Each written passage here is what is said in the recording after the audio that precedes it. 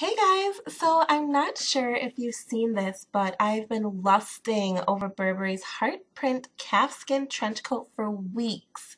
I placed the link below just so you can check it out, but here's the catch. This coat is, dun dun dun, $11,000. And to be honest, I'd rather spend that much on several items of clothing rather than one trench coat.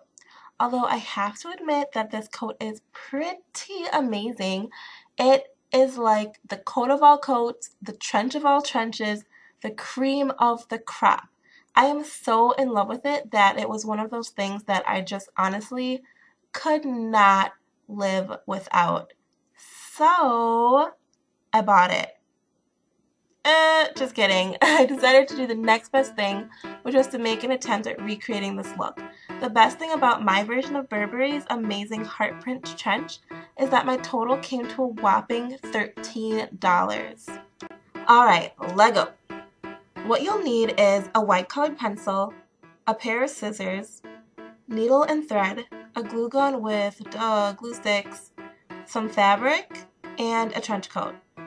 I went with a felt like material from Joann's Fabric, although I was really contemplating how amazing this would look with lace. For my trench coat, I picked one up from Goodwill for $10. I would recommend getting a cheap trench coat just in case you don't like how it looks or your design fails horribly. Also, this way you don't feel guilty when you get sick of wearing it.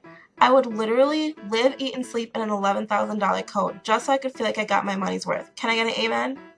Okay, so I'm about to fit two and a half hours of work into approximately five minutes. Let me know how I do.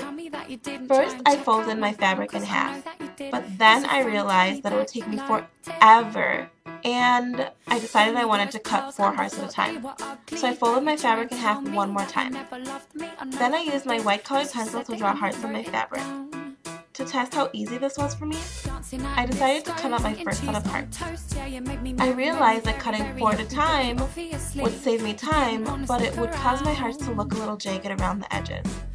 So for the rest of this video, I flip-flop between cutting four at a time and two at a time. Before securing the hearts in a trench, I cleaned up each heart so they were as smooth around the edges as possible. You'll decide and figure out what works best for you.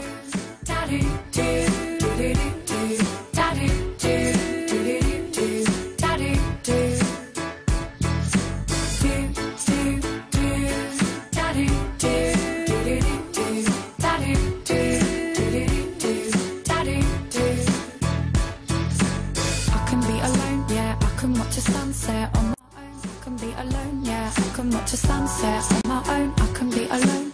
I can watch a sunset on my own. I can be alone, yeah. I can watch a sunset on my own. I can be alone. I drew 5 hearts per strip, which equaled 20 hearts per strip.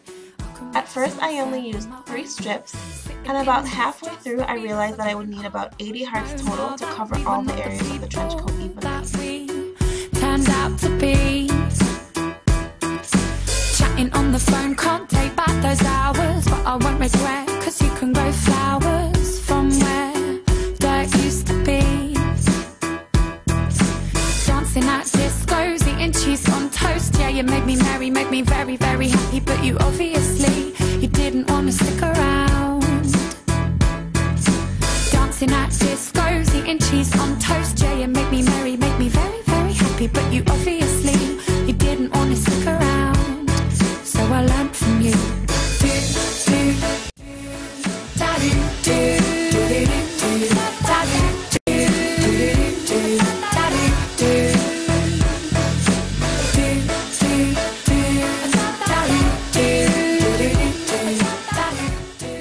I glue the hearts onto the trench coat.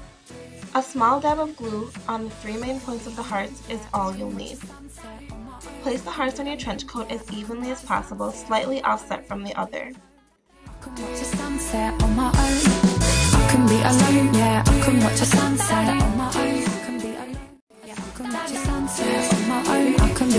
I can watch a sunset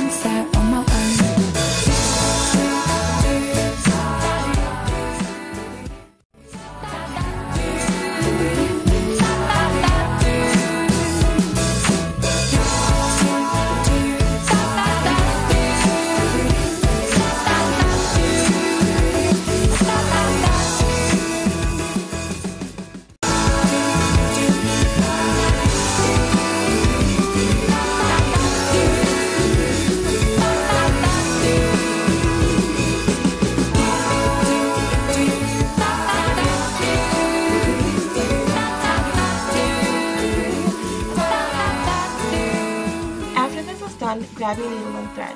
Because I didn't want to go through the hassle of outlining each heart with thread, this is lazy girl's fashion after all, I simply sewed a knot in the middle of each heart so that if the glue does come off after a wash, which it probably will, the thread is there to keep the heart in place.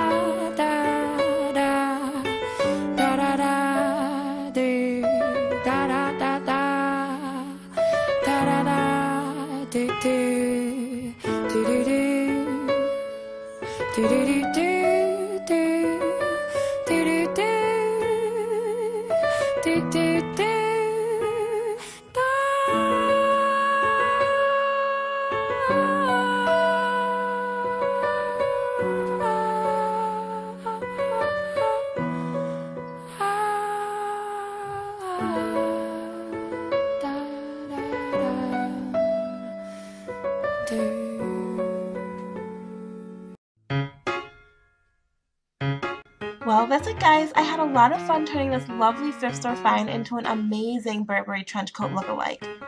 Make sure you subscribe to my channel for more fashion and do-it-yourself posts, and stay tuned for my next video, which will be a Chanel-inspired burlap tote bag. Covered in freckles, with the occasional spot and some veins. This is my boy.